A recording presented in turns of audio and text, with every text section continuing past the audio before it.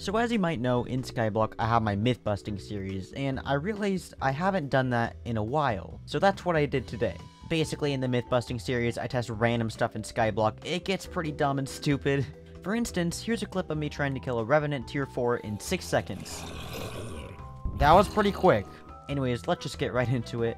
Alright, we're going to the Dark Auction because I want to try something kind of interesting. I'm gonna, gonna deposit my money, I'm going to take out 400,000 coins. That is not 400,000. So I want to test what happens if you die in the dark auction. this is so dumb. So obviously I have a piggy bank because I am prone to losing many coins on death.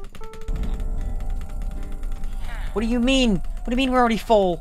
No, oh, okay. Phew, I got in. Alright, so if I go here, power 6, terrible, don't want it. And we're out. I am stuck. There we go. I don't know what'll happen if I'll warp to my island, if I'll lose my coins, if I'll just get teleported back, but yeet. Alright. Oh my god, the map's all bugged. Wait, I'm outside. I can't even get in. okay, wait, now I'm stuck. How do I get out?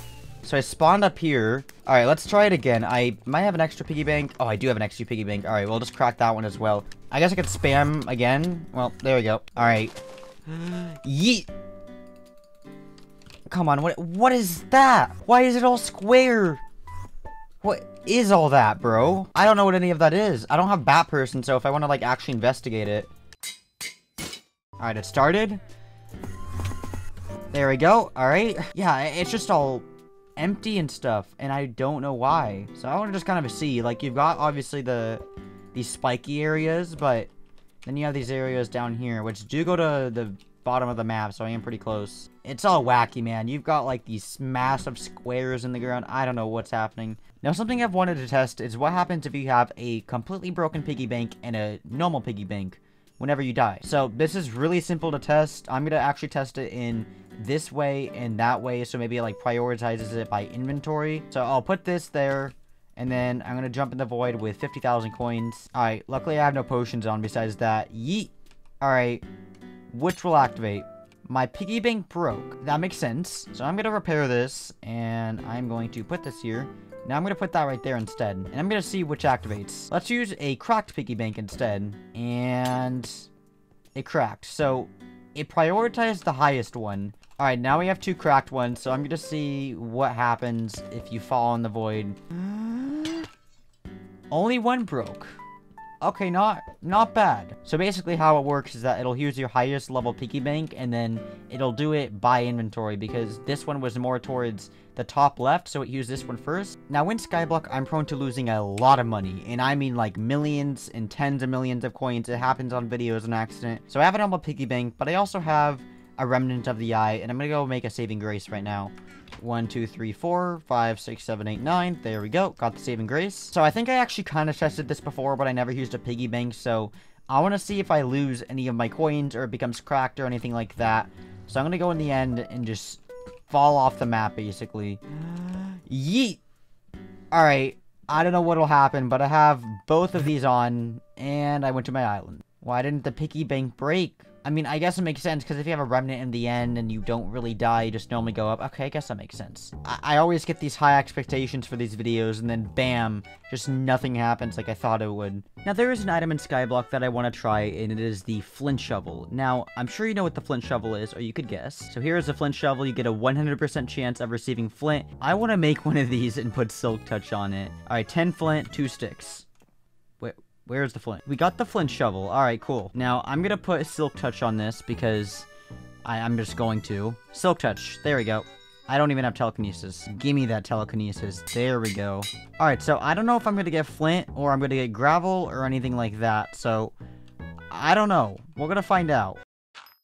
I got Flint. The Silk Touch did absolutely nothing. Well, this is not working as I thought. It is actually a pretty good way of getting Flint, though, not gonna lie. I guess it kind of makes sense because it probably prioritizes the Flint over the gravel, and Silk Touch won't really make a difference, but...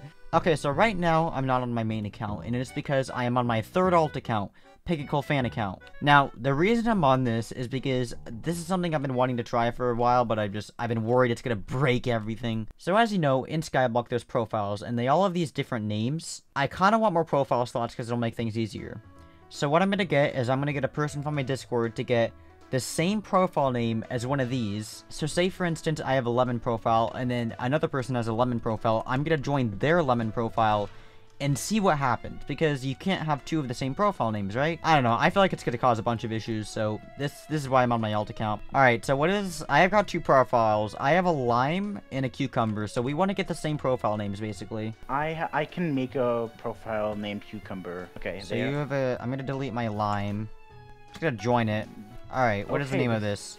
Oh, it's tomato. Uh, wait, what? It says playing on cucumber for me. Oh, really? Okay, so that might have been a little bit confusing, so let me explain it better. So basically, I had a profile named Cucumber, and on the other person's screen, it said if he creates a co-op with me, my alt account, it would have the name Cucumber. So I'm like, oh, there'll be two of the same profile names. But that that just didn't happen, and it kind of renamed it instead, which I guess makes sense, because if you have two of the same profile names, that'll probably just break the entire server, you know? There's been something on the back of my mind that I've been wanting to test for a while. Can you till soil with a Reaper Scythe? Let's test it. This myth was suggestion from the legend himself, Technoblade. I I'm not even kidding, he asked me to do it, so I'm doing it. So we will now continue this video by tilling the soil of my entire island area. I don't know. Alright, I don't know if this will work or not, but we have a, a nice maxed Reaper Scythe. Unfortunately, I couldn't get Harvesting 5 on it.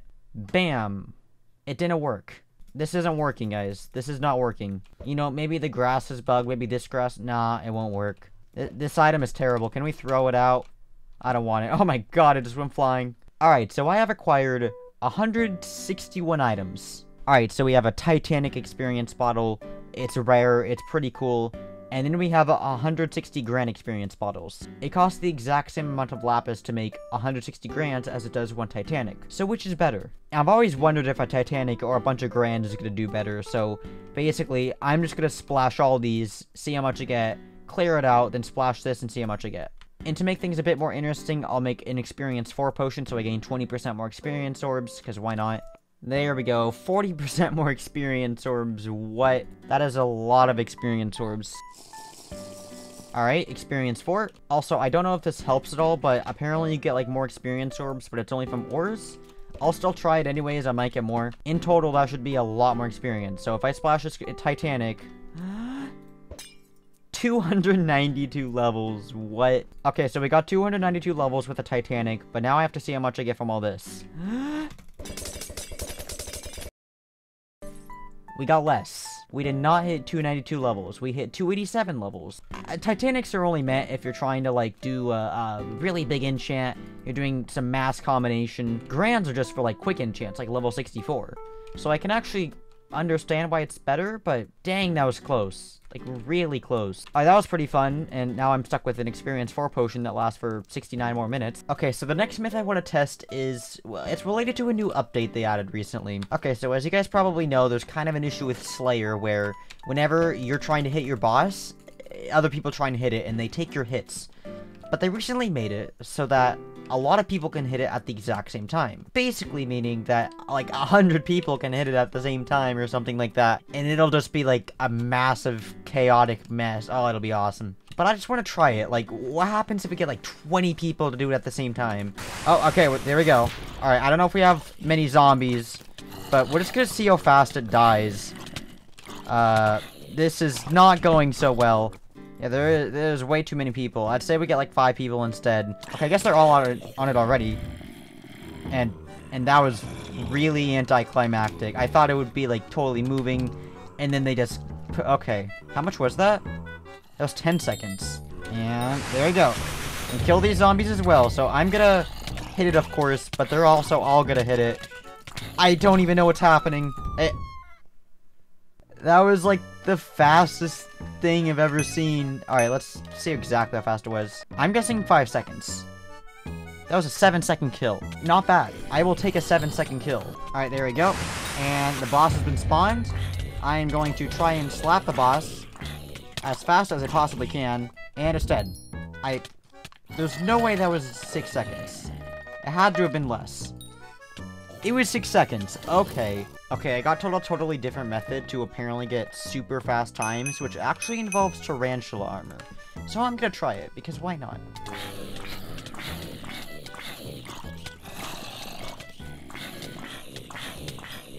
That did not go as well as I thought. I just got a crit 6. Okay, really, game?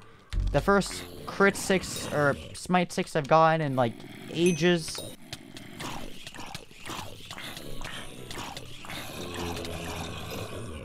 That was pretty quick.